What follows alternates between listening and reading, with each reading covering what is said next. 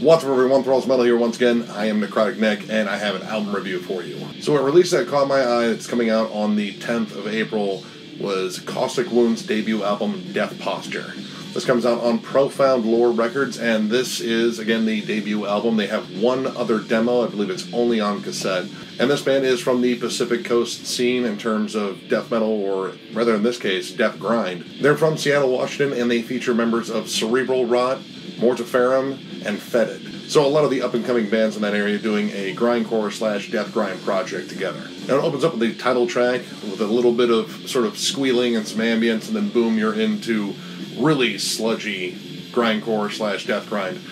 Really instantly reminded me a lot of early grindcore, especially like early Carcass, early Bolt Thrower, namely the first album, and maybe even some Napalm Death and Extreme Noise Terror too. It has a very raw production, and that's kind of the thing that's very similar in terms of the whole Pacific Coast thing. Is the production is very similar to what you would hear on Fetid's album or Cerebral Rots. It's very murky and sludgy, and when it comes down to the death metal aspects on here, it borders on Death Doom. And you get to these groovier pockets that come up. So overall, you're kind of left with an effect that this is like a band like Tomb Mold covering a band like Terrorizer. Now, to me, that sounds like an awesome combo. I really like the fact that this is sort of a different kind of death grind than I've heard in a while, unless I go back further and listen to older stuff. Now, one thing I was really surprised with on this entire album are lots of groovy pockets. We love to go into breakdowns and good chuggy parts that are very reminiscent of the bands they're in. Though I think the only thing that really kind of unifies that whole sound is the fact that it's very sludgy production, much like any of those releases from Cerebral Rot Fetid and so on. Vocally, it stays pretty much in a low growl, but it's also punctuated with higher screams. The higher screams really remind me a lot of Mitch Harris when he does his high screams in Napalm Death. But you also throw in some heavy Morbid Angel tremolo strumming and just big sludgy breakdowns too. So again, this is a kind of death grind I really haven't heard in a while. Now, as far as those songs go, they're generally around like two minute mark, minute and a half. Sometimes you get ones that are just around a minute. One of the songs that stood out to me was Terror Bomber. It's probably one of the shortest tracks on here, but what they do in the short amount of time is really cool. It opens up very fast, very much in the realm of grindcore, but it slows down to the point towards the end, which, you know, again, this is only about a minute track towards like a death doomish breakdown with some really cool angular riffing. It kind of reminded me of Demilich a bit, which is strange to bring up in grindcore, but I like how they use those kind of angular riffs like that. They really just still sound a lot like Death Doom or the old school death metal that pretty much is going on right now. Now, around Ritual Trappings and Uranium Decay, this album really takes kind of a hard turn more towards death metal. It's still very fast, the songs are still very short, but it has a more death metal feel, and again, the groovy pockets really come out. And man, does this album deliver some killer riffs. Very memorable, very reminiscent of old school death metal across the board. Like all of a sudden they just kind of squeeze in some autopsy like moments and then boom right into like frantic blasting. Uranium decay especially has an amazing opening riff to it that kind of sets the pace before going into the grindcore sections. But i love the fact that this opening riff kind of just stands out on its own they go into the whole mid part where it's very much in the realm of death grind and then they bring back that opening riff to really close it out and just let this riff really sink in sprinkle in a couple of squealy solos in there because most of the solos on here aren't very pretty. They're just as ugly as grindcore should be.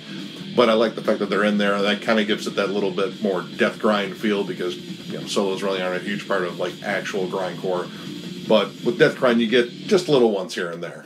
Cabal was another one that stood out to me. I really like how the fade in intro was like pretty much the band warming up and just making a racket before saying, you know, we're who the fuck ever, in this case Caustic Wound, and then going right into a set. This has a cool breakdown riff that's played over the blast, just like a simple chug. It really reminded me a lot of uh, stuff that I heard on Tomb Mold's last album. And there's some cool punk nods in this. And that's really something that I didn't hear a lot on this album, which made me think this is more of a death grind album. It doesn't favor the punk influence as much as grindcore actually does, but they do sprinkle it in there, like some D beat sections, some nice little you know moshers but overall, it pretty much stays in the death metal realm when it comes down to the groovier moments or spots where there's just kind of a fast, thrashy beat. And a cool thing that also shows up in here is a fair amount of atmosphere.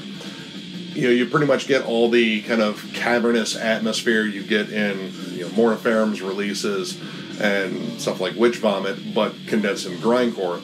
So, like in between songs, occasionally you'll get like some interesting feedback. The howls have a lot of reverb on them, so they sound extra cavernous, and that murky production just kind of makes the sound dirty.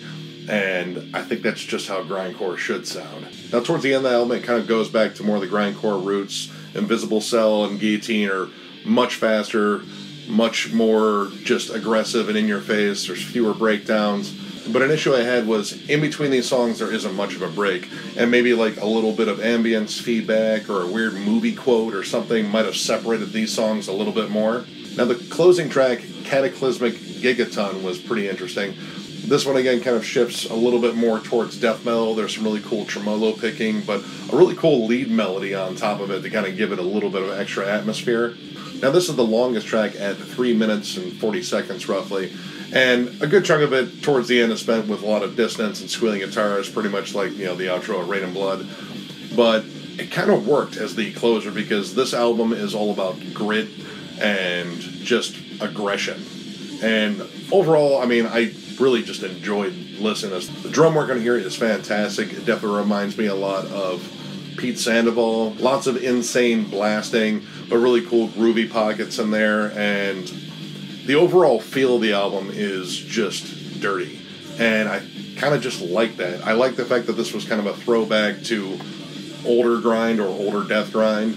Like the nods to bands like Repulsion are in there too. And it's a very straight ahead attack. It really doesn't deviate from its mission of just delivering fast, nasty grindcore. So overall, I'm going to give this four stars. This is a killer release.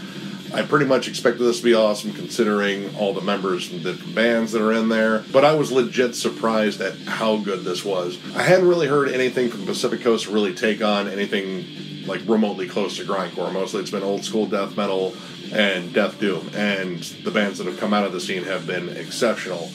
This is a little bit different, but they still incorporated bits of that sound from their bands in there. You still get the murky production, you still get the nasty kind of dark atmosphere to it, but you get this sort of punky, thrashy edge to it, and you get some outright aggression that comes through. I really enjoyed this release. I strongly recommend this for any fans of grind out there. This is definitely something I'm going to be jamming a lot. I ordered it. It should be arriving here hopefully by the end of the month. So I'm looking forward to that. So, if you like the video, give it a thumbs up, and if you are new to the channel, subscribe because we do shit like this all the time. Stay safe out there, guys.